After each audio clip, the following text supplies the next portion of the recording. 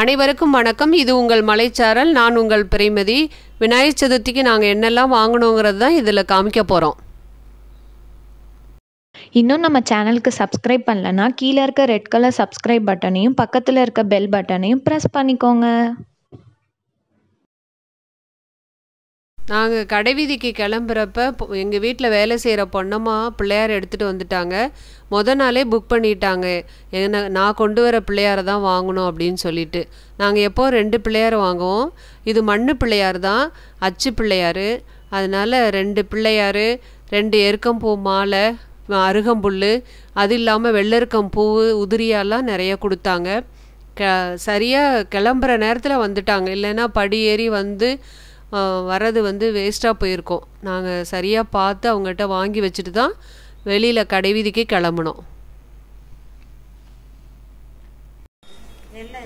வெள்ளெருக்கம் பூச்சடையான் வெற்படுத்த திருமேனின்னு சொல்லி கம்பர் வர்ணிக்கிறத இங்கே நம்ம பார்க்குறோம்.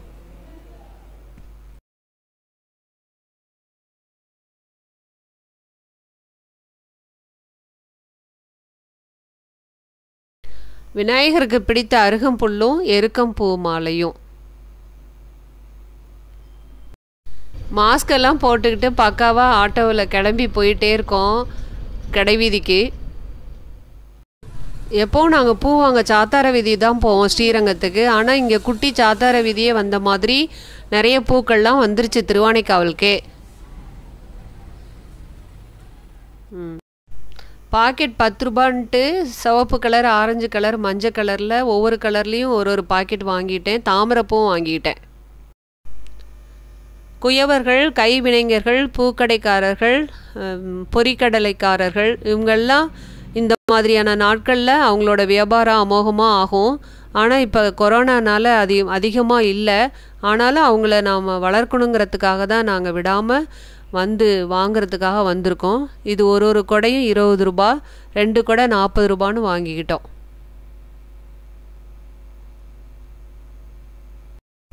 கடைவீதியில் பிள்ளையார்லாம் வரிசையாக அணிவகுத்து உட்காந்துருக்கிறத பார்க்குறோம் கொடைகளும் வச்சுருக்காங்க. திருவானைக்காவில் பிரதானமாக இருக்கிற பொறிக்கடலை கடை இங்கே தான் நாங்கள் வழக்கமாக வாங்குவோம். துறையூர்லேயும் இது மாதிரி ஒரு கடை இருந்துச்சு. என்னோடய கிளாஸ்மேட்டு தான் அந்த கடையில் இருப்பான். அவங்கிட்ட வாங்கின நினைவு.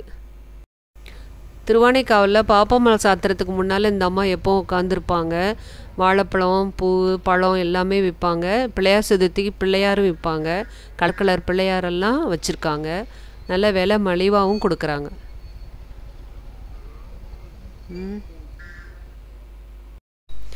பயணங்களுக்கு பாதுகாப்பாக இருக்கக்கூடியது எலுமிச்சம்பழம். இதை காலங்காலமாக சக்தி வாய்ந்த பழமாக நம்முடைய தமிழர்கள் நம்புவாங்க. இந்த பழங்கள் வந்து மூணு பழம் பத்து ரூபான்னு அந்த அம்மா கொடுத்தாங்க. அதையும் நாங்கள் வாங்கிக்கிட்டோம். வாழைப்பழம் ஒரு சீப்பு நாற்பது ரூபான்னு சொன்னாங்க. அதனால் நல்லதாக ஒரு சீப்பை தேடி பார்த்து எடுத்து வாங்கிக்கிட்டேன். இந்த அம்மாட்ட தான் நாங்கள் எப்போவும் வாழைப்பழம்லாம் வாங்குவோம். இவங்க நம்ம நம்ம கேட்குற மாதிரி நல்லா கொடுப்பாங்க.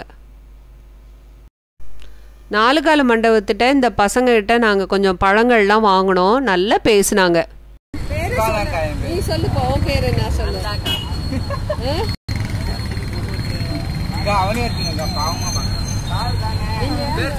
இந்த நாலு பசங்களும் ரொம்ப சுட்டியாக பேசுனாங்க.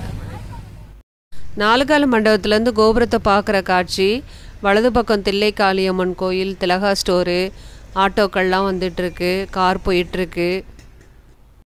சந்நிதி வீதியில் திருவானைக்காவலில் நாம் முதல்ல பார்க்குற கோபுரம் இந்த நமச்சிவாய கோபுரம் தான் இந்த கோயிலை வந்து கோச்சங்கனான்கிற மன்னன் தான் கட்டினான். அந்த கோச்சங்கனான்கிற சோழ மன்னன் தொண்ணூறுக்கு மேலே சிவன் கோயில்களை கட்டியிருக்கான். இந்த கோச்சங்கனான் மன்னனை பற்றி குடவாயூர் கோட்டங்கிற நாவலில் கோவி மணிசேகரன் அருமையாக சொல்லியிருப்பார்.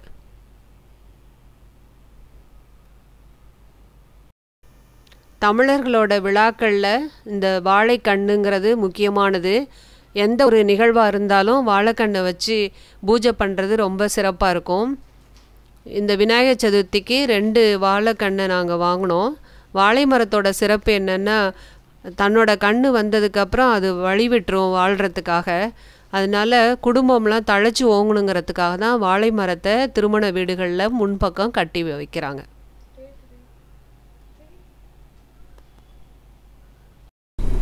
வாழைக்கண்டு முப்பது ரூபான்னு ஒரு செட்டு வாங்கிட்டு நாங்கள் வந்துக்கிட்டு இருக்கோம்.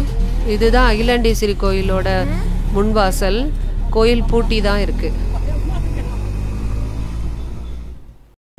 விநாயகர் சதுர்த்தி வீடியோ நாளைக்கு வரும். அதை பார்க்கணுன்னா கீழே இருக்கிற சப்ஸ்கிரைப் பட்டனையும் பக்கத்தில் இருக்கிற பெல் பட்டனையும் அமுக்கி பாருங்கள் இவ்வளோ நேரம் பொறுமையாக இந்த வீடியோவை பார்த்ததுக்கு நன்றி மகிழ்ச்சி.